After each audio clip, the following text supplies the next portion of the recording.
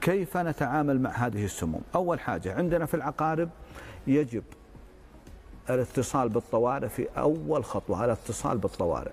في الرياض يعمل الرقم 911 زين. آه، في غير المناطق الرياض ومكة نتصل ب 997 للهلال الأحمر. زين للرعاية.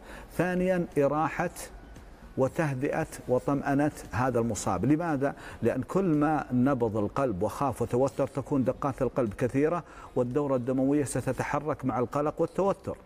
بعد ذلك إجلاس هذا المصاب آه، أو آه، تركه يستلقي ورفع العضو المصاب أعلى من مستوى القلب. زين؟ أو يكون القلب أعلى يكون القلب أعلى من مستوى تكون دائما نازلة القدم زين حتى لا يصعد هذا السم إلى القلب. دائما مستوى الطرف الملدوغ أقل من مستوى القلب. ثم بعد ذلك زين لدينا في العقارب التكميد البارد. مثلا خلينا نقول هذه القدم هذه. زين أول حاجة عندنا زين بعد ما يرتاح المصاب أن نضع الكمادة الباردة. زين؟ بعد الكمادة الباردة تكون إما بالكمادة هذه أو هذه. ثم نضع الضمادات. ثم يلف بعد ذلك المكان بالربط. هذا ما يخص العقرب. فيها تكميد بارد. يعني حركه حركة الفنجال وهذه مباشرة إيه. سيأتي عندنا الآن. فيه ملاحظات. في من يقول الربط ما قبل الجرح أو التشطيب والطريقة الماصه كل هذه في آخر تحديث لوزارة الصحة السعودية أنها لا تعمل بل هناك ممارسات خاطئة بأنها يمصها أو يأتي بحقه الحجامة.